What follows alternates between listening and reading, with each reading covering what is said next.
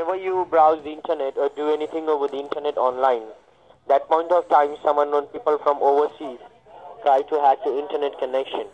So that's the reason I call you today to check out the security in the system. Can you go ahead and turn on your internet line or your computer? Who do you work for?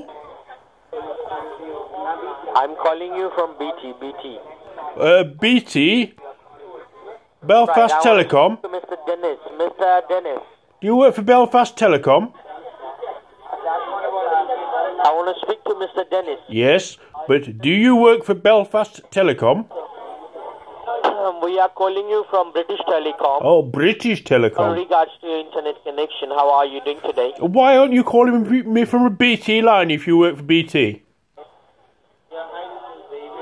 Why are you in an international call if you're if you're calling me from BT? Mother, mother, church. Fuck off. Yeah, fuck off, you two.